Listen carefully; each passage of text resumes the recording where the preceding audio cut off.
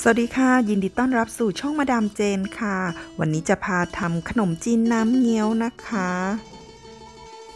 ขนมจีนน้ำเงี้ยวเป็นอาหารของภาคเหนือ ซึ่งมีวิธีการทำไม่ยากเลยค่ะเพื่อนๆ ไปดูกันเลยค่ะ เริ่มจากการล้างทำความสะอาดกระดูกหมูให้ดับกลิ่นคาวค่ะ โดยใช้เกลือมาขยำแล้วล้างด้วยน้ำสะอาดค่ะ วันนี้จะใช้ทั้งกระดูกหมูต้มน้ำซุปหรือเรียกอย่างหนึ่งว่าเล้ง และกระดูกหมูซี่โครงอ่อนอีกครึ่งกิโลค่ะ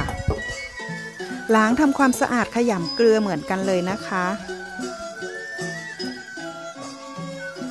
เรียบร้อยแล้วเดี๋ยวเราไปเตรียมทำน้ำซุปกันค่ะ ใช้น้ำสะอาด 1 ลิตร ตามด้วยเกลือป่น 1 ช้อนชา และตามด้วยเล้งเลยนะคะ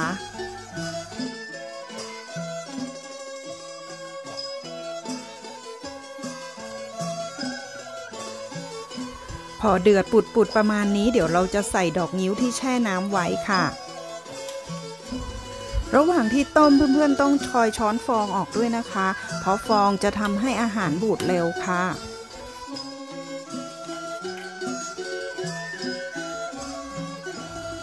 ระหว่างนี้เราจะไปย่างถั่วเน่ากันค่ะ เดี๋ยวเราจะไปใส่ในพริกแกงค่ะ ถั่วเน่าเป็นเครื่องปรุงสำคัญของทางภาคเหนือเลยนะคะ ถ้าเพื่อนๆไม่มีถั่วเน่าก็ใช้เต้าเจี้ยวแทนได้ค่ะ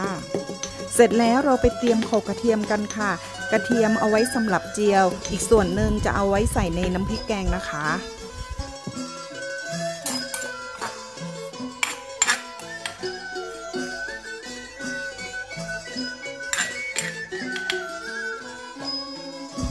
ค่ะ คงเหลือไว้ประมาณ 1 ช้อนโต๊ะค่ะ ตามด้วยรากผักชี 1 ช้อนโต๊ะค่ะ ตามด้วยพริกแห้ง พริกแห้งนี้ตามชอบเลยนะคะ ถ้าชอบเผ็ดก็ใส่เยอะหน่อยค่ะ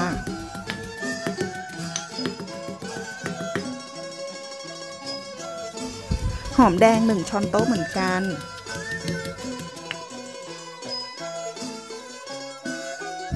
ตามด้วยกระปิ 1 ช้อนโต๊ะค่ะ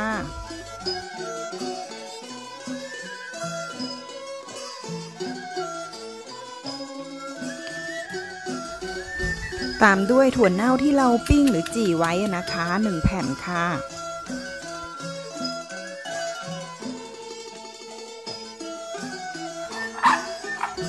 โอเคแล้วค่ะแหลกประมาณนี้ใช้ได้แล้วค่ะ เดี๋ยวเราไปเตรียมอย่างอื่นกันต่อค่ะมะเขือเทศมะเขือเทศลูกเล็กๆค่ะมะเขือเทศสีดาใช้ประมาณ 3 ขีดค่ะ หรือบางคนชอบเยอะก็ใส่เยอะได้นะคะ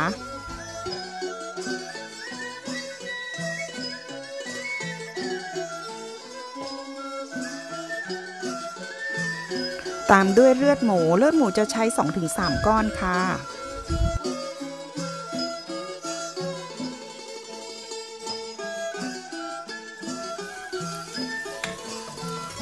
ต่อไปเราจะเจียวกระเทียมก่อนค่ะก่อนที่จะผัดพริกแกง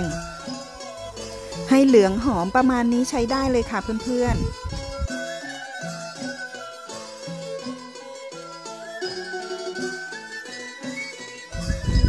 จากนั้นลุยต่อเลยค่ะ ผัดพริกแกง ตามด้วยกระดูกหมูที่เราเตรียมไว้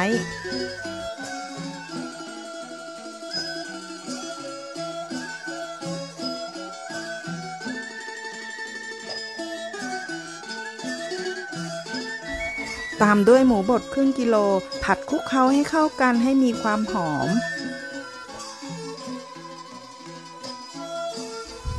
ประมาณนี้ใช้ได้แล้วค่ะ เดี๋ยวเราจะนำไปใส่ในน้ำซุปที่เราต้มไว้นะคะ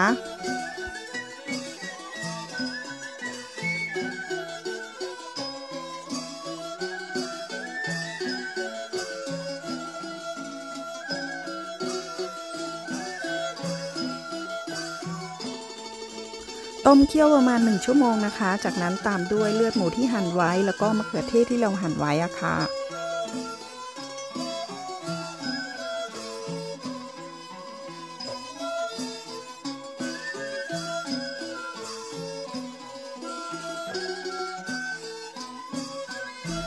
น่าจะได้ที่แล้ว มาชิมรสชาติกันดูค่ะว่าจะขาดรสไหนไป ปรุงรสเพิ่มด้วยน้ำปลาอีกหนึ่งช้อนโต๊ะค่ะ ตอนนี้ก็อร่อยครบรสแล้วค่ะ จะสังเกตว่าอาหารเหนือจะไม่นิยมปรุงรสด้วยน้ำตาลนะคะก็จะมีความอมเปรี้ยวอมหวานจากมะเขือเทศอยู่แล้วค่ะ โอเคเลยค่ะ เสร็จเรียบร้อย ขนมจีนน้ำเงี้ยวของเรา ไม่ยากเลยใช่ไหมคะเพื่อนๆ ลองไปทำกันดูค่ะ ส่วนเครื่องเคียงที่นิยมมาทานคู่กันก็จะมีถั่วงอกกระหล่ำปีหั่นฝอยประกาศดอง เพิ่มกากหมูหรือแคบหมู แล้วบีบมะนาว อร่อยฟินสุดๆเลยค่ะ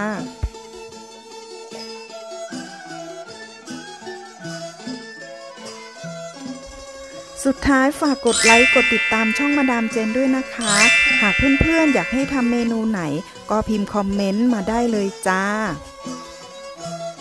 สำหรับสูตรเพื่อนๆสามารถกดดูที่สามเหลี่ยมใต้คลิปได้เลยนะคะ วันนี้ขอตัวไปก่อนแล้วค่ะ ไว้เจอกันใหม่คลิปหน้านะคะ สวัสดีค่ะ